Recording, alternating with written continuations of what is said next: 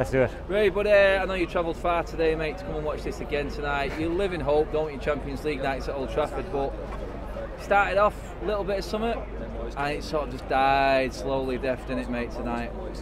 Yeah, like we, we were hoping for individual brilliance from from Ronaldo, from from Sancho, from Bruno, and for, to a lesser extent Elanga. That's the best we were hoping for tonight. Because let's face it, the way we lined up, we had no midfield, right? Two holding midfielders and, and one attacker in Bruno. And Bruno, his record in big games is poor.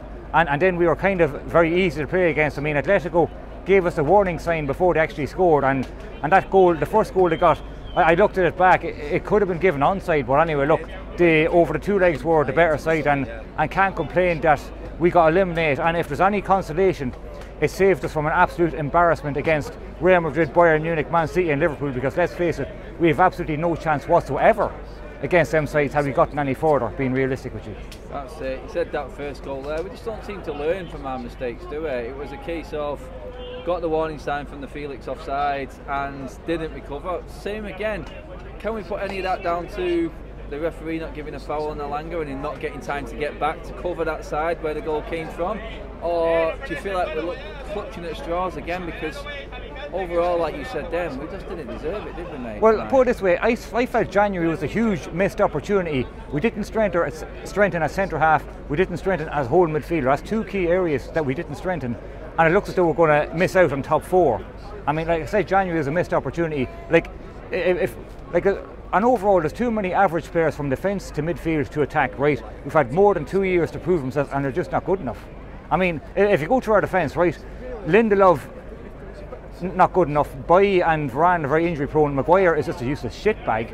And in midfield, right, McTominay, Fred, Matic, right, we don't have a proper CDM. And I know there's a, a chant about McTominay, but I'm sorry, he's more of a championship level player than he'll ever be a future United captain, right?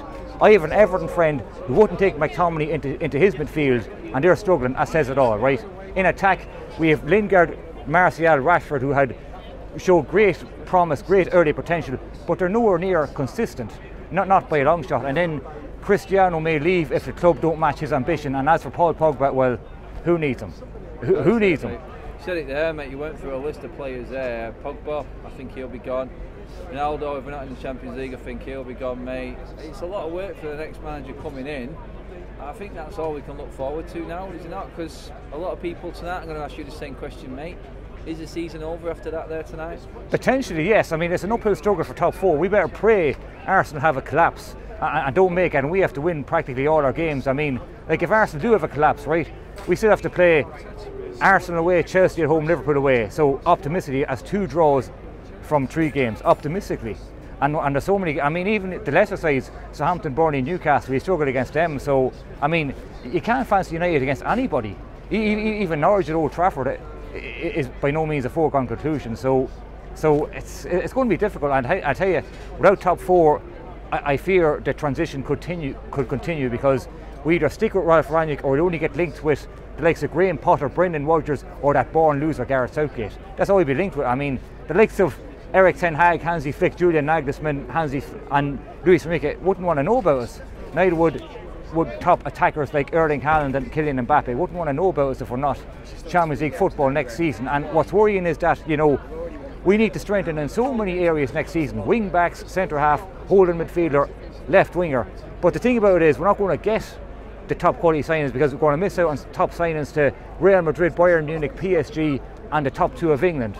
I mean, just as Luis Diaz was strongly linked with, with Tottenham, he joined Liverpool because they were Champions League and Tottenham weren't weren't really going anywhere. And plus, Diaz had no right to start. He had to earn his way in, and and he's proved a worthy signing. That's it, mate. I mean, looking ahead to that new manager coming in. I mean, Ten Hag has gone out tonight with Ajax as well, beaten by yeah. Should United be going for it now?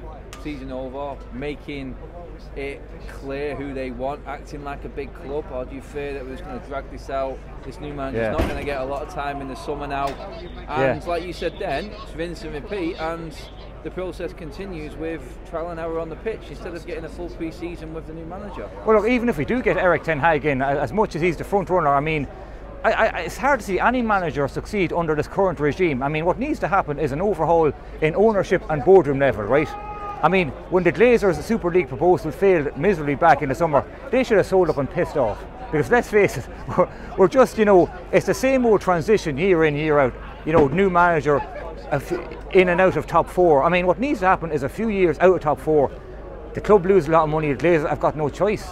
I mean, as, as, a supporter, you'd want to be optimistic for your club, but the Glazers may have no choice if you've spent three, four, five years out of the Champions League, all the money that they've lost.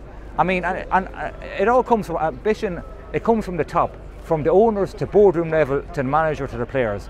That, that's where it all comes down to. I mean, like when Arsenal celebrated their top four trophy for several years, they set their standards so low, they actually spent five years out of top four, they actually landed on eight for a season or two. So I fear we could suffer the same fate if, if you know, if we keep recruiting substandard average players and, and keep hiring managers for a season or two, or keep in and out of top four, it's, it's hard to see an end in sight to this transition unless there's an overhaul of boardroom and management uh, and ownership. Sorry.